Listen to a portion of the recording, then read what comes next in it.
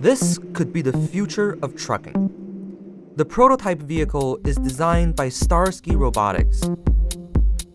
The company is testing the truck in southern Florida, where regulations are light. The truck can drive itself on the highway, though it still needs a safety driver on board. Highway driving is easier to automate than urban driving, and driverless technology could save lots of money for the $840 billion trucking industry. That's why Starsky Robotics and several other companies are betting on a future with driverless trucks. For truck drivers, there's the concern that automation will eventually replace them. But experts say automation could also create many new jobs in the trucking industry. But still, this is one industry among others where robots may one day outperform us.